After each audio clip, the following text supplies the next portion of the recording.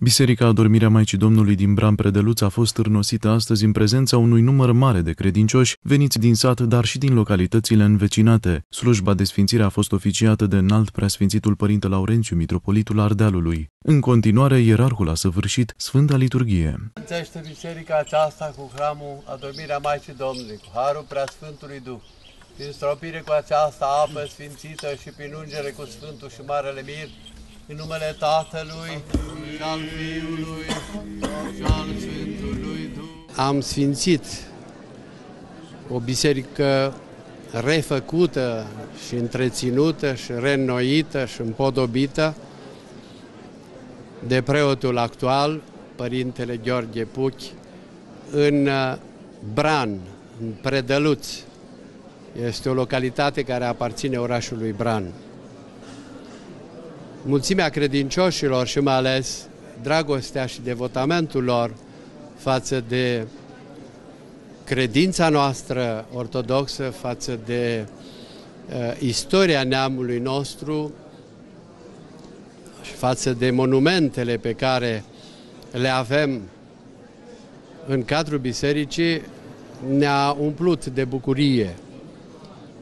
De aceea le-am transmis chemarea aceasta de a fi alături de Sfântul Apostol Toma, mărturisitori a învierii. Biserica parohială a fost construită în anul 1836. Între 1988 și 1989 a fost pictată de Toma Condrea, păstrând elementele stilului gotic. În ultimii ani, biserica a intrat într-un proces de reabilitare finalizat în primăvara acestui an. Am început aici în 1993 cu cea mai mare lucrare și anume consolidarea turnului care are 47 de metri înălțime și care lăsese niște fisuri foarte mari încât aproape vedeai prin el.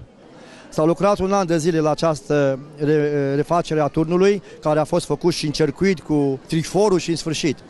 După aceea s-a consolidat coperișul, absolut cu tot ce a trebuit, țiglă, lemnărie. Am continuat cu schimbarea lemnăriei ferestre, uși, pentru că ploua în biserică. O altă lucrare mare de amploare a fost scoaterea igrasiei, lucrat de drenaj, care a lucrat un an de zile și am ajuns la niște săpături de peste 3 metri adâncime ca să putem să preluăm apa.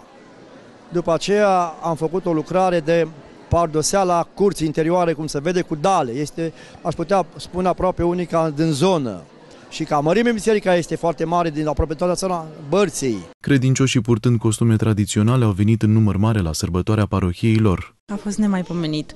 O zi în care m-am încărcat sufletește, a fost o zi în care pur și simplu a răsărit soarele și Dumnezeu ne-a văzut și ne-a binecuvântat. A participat fiecare cu câte ceva, Uh, în special cu munca fizică, dacă nu cu contribuția financiară. Dumnezeu știe dacă mai apucăm alt eveniment ca ăsta. La final, părintele paroh a fost hirotesit econom Stavrofor, iar cei care au sprijinit lucrările de restaurare a bisericii au primit din partea ierarhului acte de cinstire.